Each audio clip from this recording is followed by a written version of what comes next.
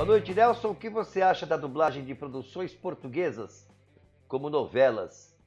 Você acha que são necessárias? Perguntou Rafael Augusto. Acho, Rafael.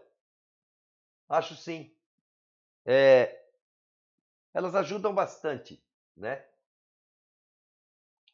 Porque você vai ouvir que o camarada é, está à, à, espera do comboio para ir a Gari, uh, para uh, está à, à, espera do autocarro para ir a Gari tomar comboio. E aí?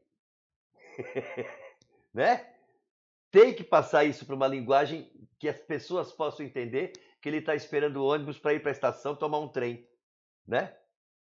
Quando ele diz que vai pegar alguma coisa no guarda-fatos, ah, tem alguma coisa tem que explicar que ele está se referindo ao guarda-roupa. Não é porque as, os, os dois idiomas se chamam português que eles são o mesmo idioma. Não são.